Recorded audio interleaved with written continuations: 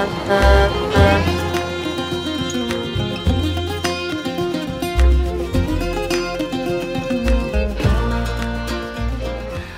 and welcome to RC Kicks. On today's show, well, we're going to be doing something completely new to the channel. We're going to be unboxing one of these, a Tamiya Mercedes-Benz 114th Actros 3363 uh, three-axle truck absolutely massive. Now, this kit was based on an original truck that won Truck of the Year in 2012, and it can pull a massive 250 tons.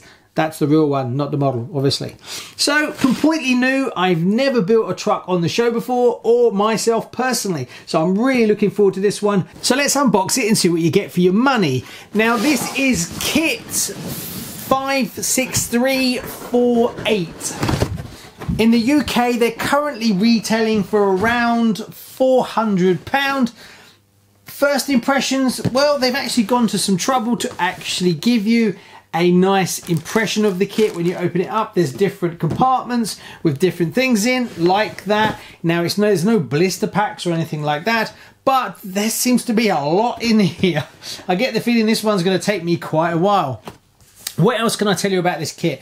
Well, there's different versions of it. This one is one that I have to paint myself, but you can get ones that are pre-painted, but you still got to build them in like a blue, and there's a few other ones. There's a black one as well.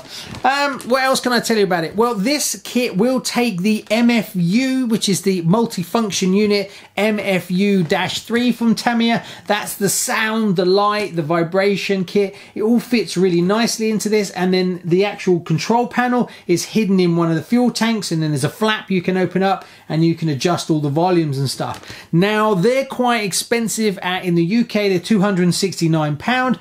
I'm thinking about getting one. Uh, the thing is comment below if you built one of these.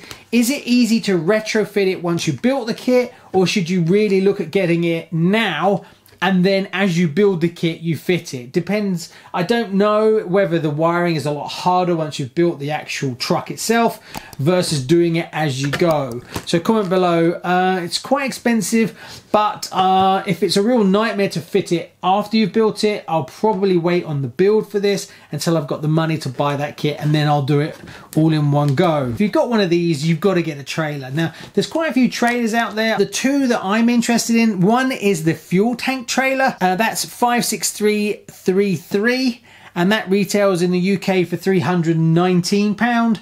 Also, the other one that I'm really interested in is uh, 56330 40 foot container semi, they call it, and that's £389. So you can pay just as much for a trailer as you do for the actual truck itself. Obviously, this doesn't come with any electronics, it does come with a motor, but then someone else has commented that the Silvercan motor, you shouldn't put that into these trucks because it's too overpowered. You should go for something um, that's more of a high turn. Uh, so it's more smoother and slower. Um, so comment below, anyone got an idea what motor I should fit in this? Let me know. This is all new territory for me, so I'll take any advice from anyone that's built these and run these before. I think that pretty much covers everything, so let's take a look at what you get. So windscreens, one thing I have had a sneak peek at this, there seems to be all an interior and stuff, but we'll come to that. So windscreens, side windows, it's not one big whole thing. You actually screw in the windows individually by the looks of it. Now, even though this desk is big, I think I'm going to run out of room.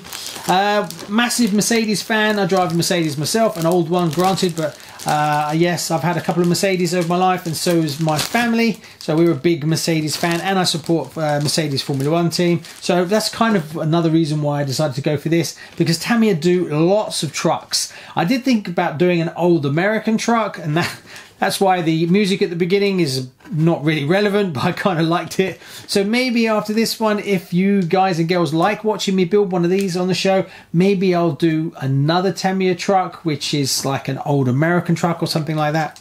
I don't know. Anyway, I digress. Then we have what look like wings. So there's a lot more parts to the body. Obviously, it's a hard body. Steps, not sure what they are. Uh, front wings, I think they are. Inner wings, maybe. I honestly don't know. Then we've got wheel arches and a load of other random parts. These are the wheel arches that go on the back, I guess. Then we have a whole, like, what looks like an engine compartment bit, bumper, Mercedes logo, that goes on the grill. Then we have uh, lights and bumpers and push bars and what have you. So I honestly don't know how long it's going to take me to build this one. Um, I did see you can get little oil shocks as well. Comment below, let me know if they're worth getting. Lights, badge, like the badge, mirrors, all kinds of bits, uh, bits and pieces. It's quite high detailed, this one. Then we have what look like fuel tanks and the side tanks of one thing or another. Uh, compressed air or whatever. Um, it's basically the same again, an oil tank and a few other bits and pieces. Then what is that? That's like an internal part. That's, I'm guessing, where you fit a lot of your internal electronics because you can pack in a lot into these. Uh, you can even get a driver. I did see that there's a uh, optional driver that you can put in the cab. What's this? It looks like the exhaust stack that goes on the side and a load of other random bits and pieces. So that's the first bin done. Let's move on to the body side of it. So we've got the lower grill of the actual cab itself. Not sure what those bits are. Then we have, this one surprised me. This one's got a full dash that you can paint. Seats, steering wheel, column. Uh, not sure what that is. So there is a, there is pretty much an interior to fit in this truck. So of course it's very different to cars that you do. Uh, this looks like the top section of the truck. Uh, and maybe a bumper section and, and it's like an aero part in that one. This will probably give you the best idea of scale. That's the top section of the truck. So this thing is going to be big. It's going to be very big. Uh, especially when you start adding the trailer on, which I'm looking forward to doing. But obviously, the, I get the feeling the trucks, you have to buy them in stages. Like get the cab, then if you get the, what is it called, MFU, then add a trailer later on, and then uh, you can actually have like the legs go down on the trailer, so you can you can hitch and unhitch the trailer remotely. Pretty cool. Um, so uh, this one will be a long ongoing one for sure, because once you add up all that, you're looking at well over a thousand pound, and some other bits and pieces. Not sure, more internal parts that I have no clue. So that's the second, if you, if you will, second part. Then the third part, oh, it's actually just a thin section. So we have the manual and some decals and stickers and bits and pieces. And then some actual metal plate parts there. That's actually metal. Oh, I guess that's like the steps and stuff like that, I guess.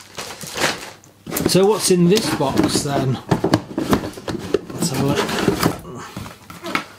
Right, so we have tyres, and quite a few of them. one, two, one, two. So you've got two. They seem different. You've got two big thick tyres, then you've got four thinner tyres. So that's all the tyres. Then oh gosh, there's so much stuff. Then we've got oh, this is all the bags for the uh, suspension. So maybe that is oil suspension. I don't know. I honestly don't know. Uh, bag A, just loads of screws. Bag D has got like motor mounts, pinion gears, that kind of thing, and a lot of the parts for the three uh, gear transmission. More bolts, some brackets. So there's a lot more to this kit. Uh, ceramic grease and some tools and bits and pieces. Silvercan motor, an extension uh, for the battery lead. That's weird. Then we got the diffs, or one diff, no, two diffs, two diffs. And this one, then you've obviously got all the springs, and you get some bearings and a lot of bushes as well. And that's pretty much, oh, then that's the selector gear that goes in the gearbox. So we'll do a close up in a minute with a full montage. I think the montage is going to take a while because there's a lot of parts. And we've got one more box to do which is this one here. And I have no idea what's in this one either. So let's have a look. Oh my god, there's even more parts. So we've got some more, I guess the light parts, some more bits for the lights. That's the, what they call it, fifth wheel, is it? The hitch bit. Why is there two? Seem to have two of them. And they are different. I don't know, is it different types? Honestly, no idea. Then we've got parts of the three gear transmission. I recognise those from the F350. Some internal, oh, they're the uh, ax, the frame, they, the frame separators.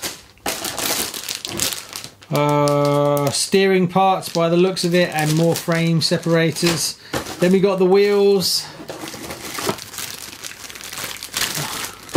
They're pretty cool. They look really cool. uh, gearbox housing, I recognise that. And then we've got the fixed axles. Uh, what else have we got? More lights.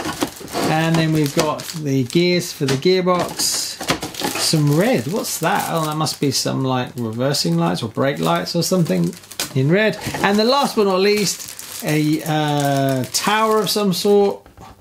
I have no idea what this one is. No idea. Mount servo horn, maybe. Uh, no idea. And that is pretty much everything you get for your money. So what we'll do is we'll do a montage so you can get a real good look at it, and then we'll come back and wrap up.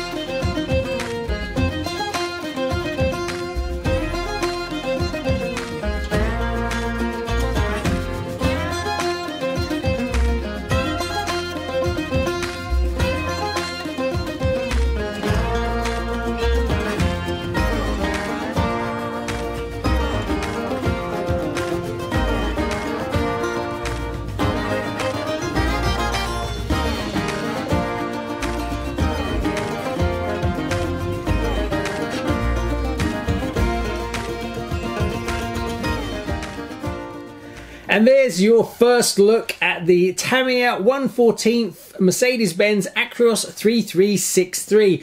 Comment below, let me know what you think. Should I build it first and then put the electronics in it, or is it too much of a problem and I should just wait, get the electronics, and then build it all as one go? Let me know in the comments below. I really enjoy digging through this, and I think it's going to be a good, solid week build for me, as well as getting all the painting done before you put it all together. Anyway, thanks very much. Please like and subscribe. And if you'd head over to the RC Kicks Patreon page, there's loads of behind the scenes RC goodness that comes out every day. Thanks very much. Bye bye.